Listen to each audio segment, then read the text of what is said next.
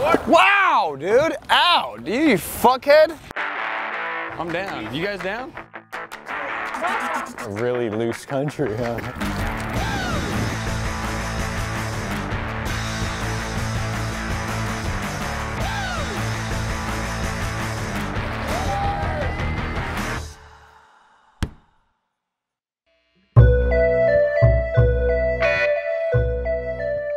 Ask any traveled skateboarder what the greatest skate cities in the world are, and New York will pop up no matter how short that list is. It's the city that never sleeps. It never runs out of skate spots, restaurants, parties, babes, and opportunities to do cool shit. There are too many corners and clicks to keep up with, but we're going to do our best here to show you some of the tips and tricks for getting around and getting down in New York City. Vodka Jello. In my opinion, there's no better city in the world to skate around in. You're on your board all day and night, and it never gets old. You're a skateboarder traveling to New York. You're gonna be staying in Brooklyn. You'll find food and faces from all over the world, and it's actually where I met photographer Andrew Peters. He's one of my best mates now, and he's from Australia but lived in New York for a bit. You're in New York. You're in the Big Apple. You gotta go big. I think that's Texas. The Big Apple is Texas. I'm from Australia, and I know that that's not fucking Texas. Let's meet some locals and legends. RB Umali's been filming skateboarding in New York since the 90s. Uh, when I first moved here, there was no such thing as skate stoppers. Professional skateboarder Eli Reed has lived in New York for 12 years. No matter what, how much New York's changed, or people say that, it's still a place that anything can happen at any moment. I'd recommend getting lost. Zered Bassett moved to New York when he was 18. I don't know, man. Do whatever the fuck you want. fucking figure it out. Let's do it. Alex grew up here and opened the Sensei Gallery Bar. That's the best thing about New York City. You know, they're just always around. Ronnie Flynn's been here for about a decade, runs the flower shop, and knows how to have a good time. Meet Mark Razzo, he'll be serving up fun at Max Fish. Dixon balls on three. We also met up with a couple of OG New York pros. Have a good time. Try to mind your own business so you don't get punched in the face. He's not kidding. This is Jordan. She flew in to visit and got in a street fight in Brooklyn on the first night.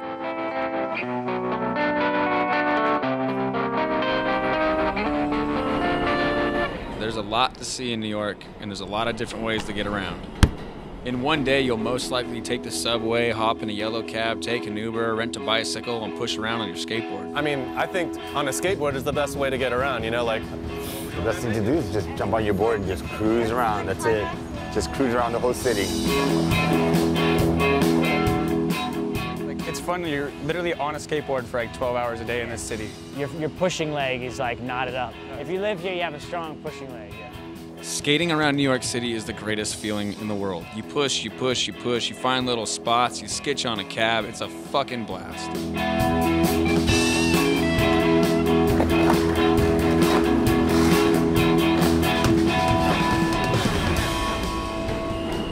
Best off getting the Metro card and just get a new card. Unlimited rides and do seven days because as soon as you start paying for single rides, it's like you'll have spent $30 in a day. Definitely in two. So even if you're only here for five, six days, it's still worth getting the seven day card for sure. It's just the most convenient way to get around. You'll have millionaires doing that rather than getting a cab because it's just, it's quicker. It's not Like, one cab ride is like the cost of a whole week on the subway. and it can take like so much more time with the traffic. Yeah. The subway is direct. Just like that.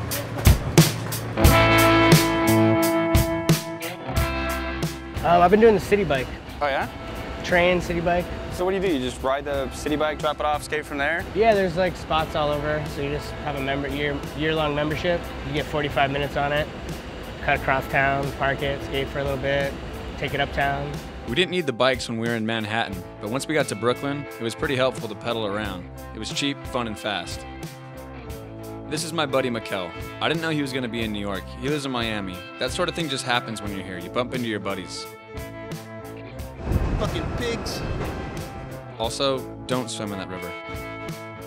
There are a lot of cool zones, too many to cover.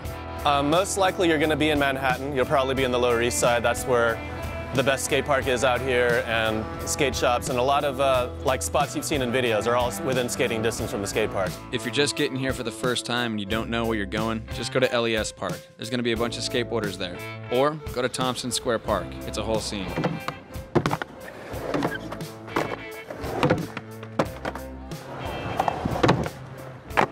Downtown Manhattan is probably the best neighborhood to skate at. Midtown's funner, but you're going to deal with a lot more security out there and a lot more people, and it's a lot more crowded. Brooklyn's also a lot of fun because it's super mellow, but everything's kind of spread out in Brooklyn. Brooklyn's rad too. We stayed there about half the time. It was cheaper and a little more mellow.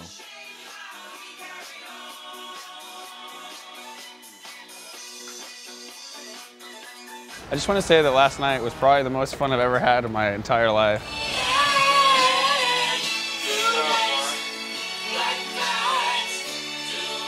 I tried to cancel today, but Andrew made me go out and skate, so I pretty much have nothing to say about anything. Really wish you had some other sunglasses. Dude, all right, I'll take yours. How about that?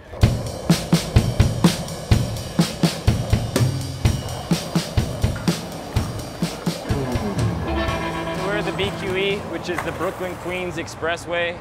It's down under the bridge, and this place has been around in skateboarding in New York for decades, and it's definitely a staple in New York skateboarding, and a lot of shit's gone down under this bridge. So, had to come past.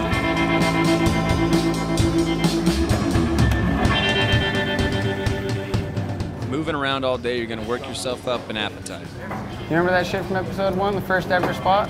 Shit gone global, dude. I'll take the $4 jam too. Falafel with everything and chili sauce. Not too much chili sauce though. Fuck, burn this guy up. We've all got our favorite spots to eat for cheap when you're out there skating, but there's over 20,000 restaurants in Manhattan alone. That doesn't include Brooklyn, Queens, the Bronx. I mean, you've got options. No, no, no, no, no more hot sauce. No, no, no, no more hot sauce. Please, dude, come on, dude. Trying to give me the ring of fire, We dude? take these things to the park? On our way to eat in the park, we found some more friends at the Charleston, where, as long as you're drinking, you can eat pizza for free. After 8 o'clock, the prices skyrocket up to a dollar. That's the best part about New York. There's, you're always on a detour. You're never going on a straight line. You're always like, oh, I'm going here, and then it's like, hey, I'm gonna go over there. I mean, even like, since I've been here this week, I've bumped into you like four times. Without even being like, yo, let's meet up. Just like, hey, what up, dude? Fucking. You have to be 23 to get in here? Have you ever seen this at a sign in your life? So this is the turkey's nest, and you can order whatever you like, and they'll put it in a styrofoam cup, put a lid on it, take it straight to the park. Put a lid on it. I need to put a lid on it. I need to nollie back it down.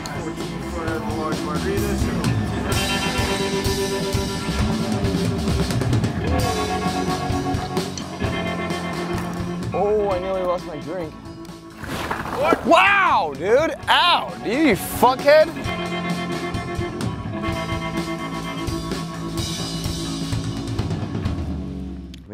Some new sunglasses that aren't gold. They need to not match your board anymore.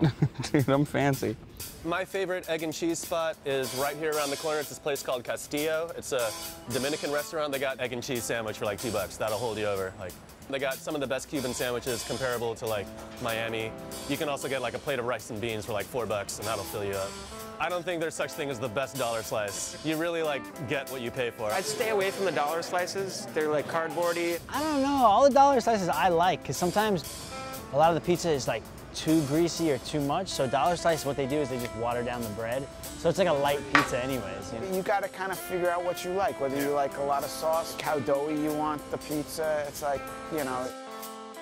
If you feel like upgrading your slice, I highly recommend you go to Roberta's in Brooklyn and get the Bee Sting Pizza. It is officially my favorite slice in the world.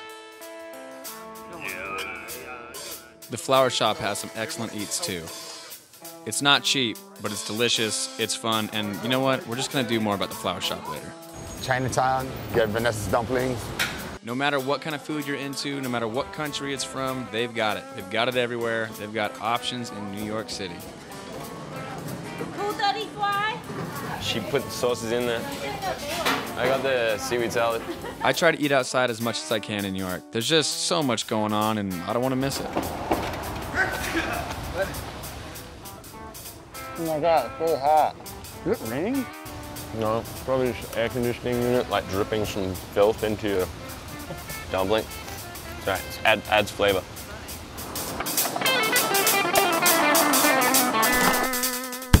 It's been intense in the past couple years. Like, I think since uh, 2004, I started noticing the, the real change after like me and my friends kind of like slowed down. and all the new kids started coming up.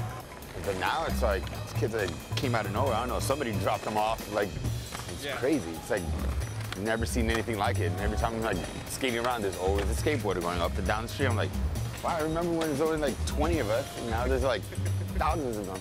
It was a, a much smaller community, I would say, when I got here. Uh, now, I mean, shit, there's like three, four skaters that skating by us already. Uh, before it was anyone that skated by, you knew them. I mean, just about in any city, but we're not as much outcast as we used to be.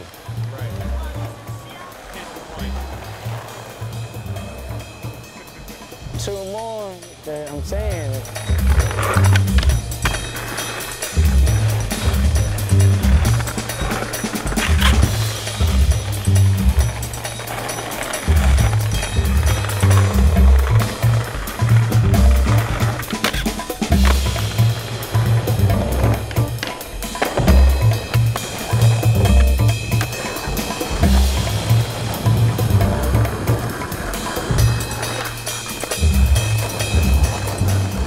Every so often we get a good gone session. It's the best. It's like, it's always a treat, you know what I mean? We're just going to 5th and 42nd, and we're gonna, they're going to meet us in the van.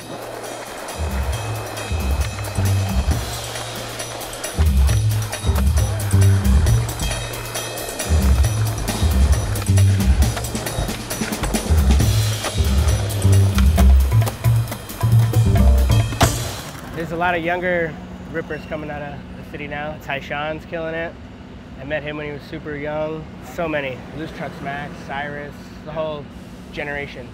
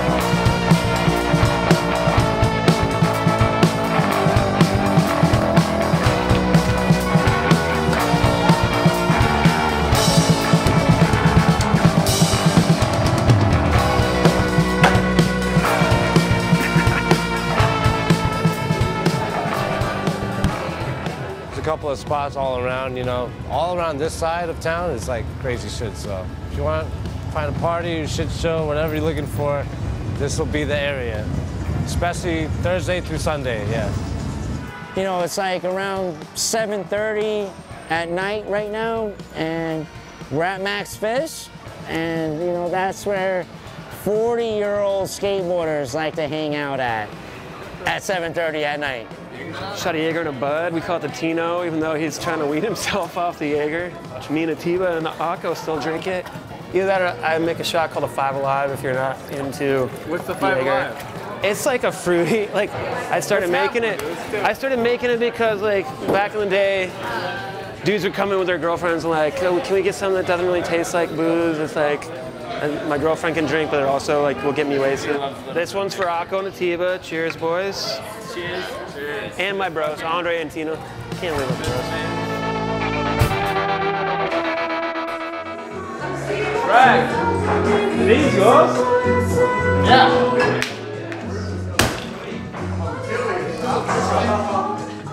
Meet chicks. Um, flower shop's a good spot. I mean, they call the flower shop, right? Motherfucking Ronnie.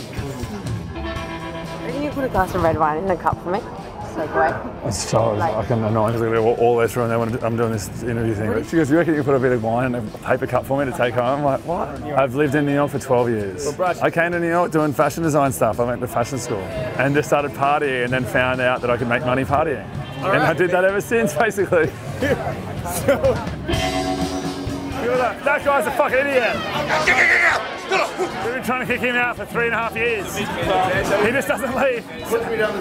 I'm not going to push you down the stairs yet.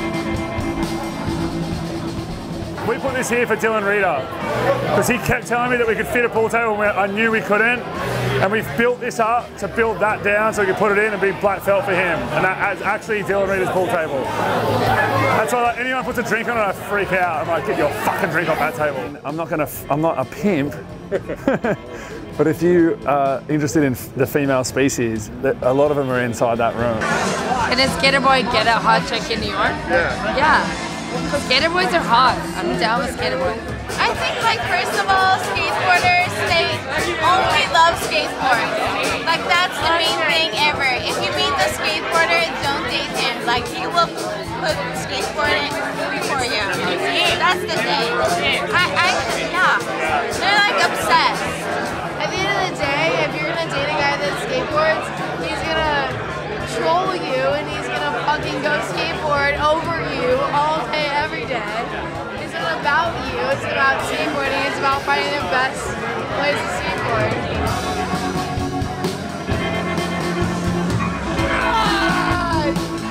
He's back! One hell of a wing.